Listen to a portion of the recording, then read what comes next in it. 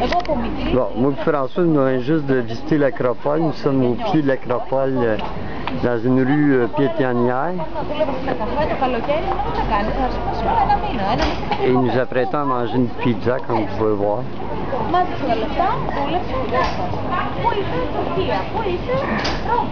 François, il sniffe tout ce qu'il y a alentour.